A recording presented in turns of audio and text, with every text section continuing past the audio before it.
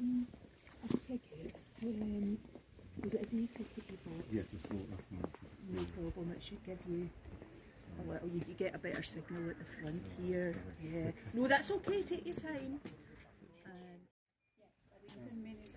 Oh, they just. Right, is your bus driver picking up? No problem. Thank you. Enjoy your walk. Right, Hi, found the right luck? email. View tickets. View tickets. That's you now.